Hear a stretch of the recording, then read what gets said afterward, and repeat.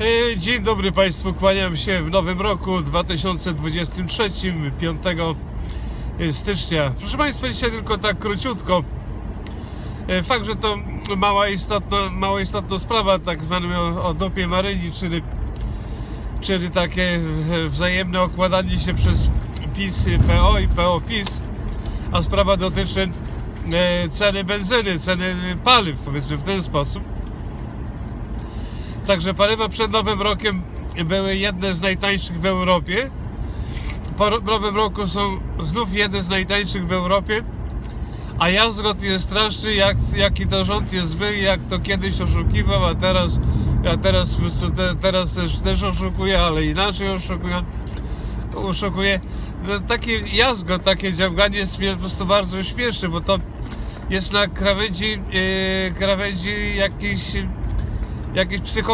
po prostu, bo to jest kompletna głupota, no ale zauważyłem, że e, tak staram się nie dyskutować ze znajomymi na tematy polityczne, bo jednak jakby nie było, ludzie nie, nie mówią własnym językiem to, co widzą na stacjach benzynowych tu czy tam, tylko mówią językiem mediów, które oglądają.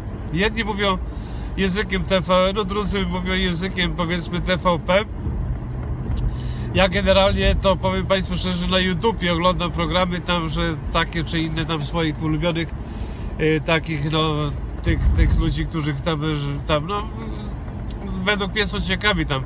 Czasami coś się trafi z telewizji Republika, y, z Polsatu, czy tam z Interi, to jest jedno i to samo.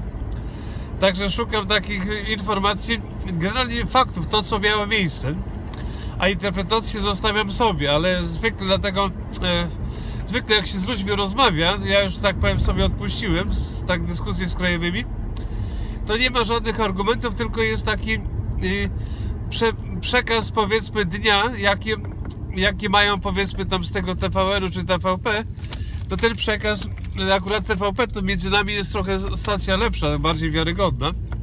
Też jest używa propagandy jak każda inna, no ale ale przynajmniej trochę więcej, więcej ma z prawdy. Yy, ale no, ten, ten przekaz jest, proszę Państwa, jest, jest yy, no, dlatego yy, w- zwykle ludzie czekają, ci tacy tępi, to czekają na przekaz dnia, czyli tak muszą po, poczytać albo u Michnika w Wyborczej, albo w TVN-ie, albo gdzieś tego, w jakiejś innej stacji, tam powiedzmy tam w jakichś newspeakach, czy gdzieś ja tego nie czytam, no ale w każdym razie wiem, że to, że to jest w Polsce takie, no są takie e, niby ważne media jakieś, w jakiś sposób. W każdym razie e, reasumując, ludzie dobrze jakby zaczęli mówić swoim językiem, ale żeby mówić swoim językiem, to musieli mieć troszeczkę wyobraźni i patrzeć na życie, jakie je otacza, a nie to, jakie, co o ich życiu mówią media, bo to jest, mówią, proszę Państwa, ja na temat Stanów Zjednoczonych mogę mówić godzinami bardzo dobrze albo godzinami bardzo źle.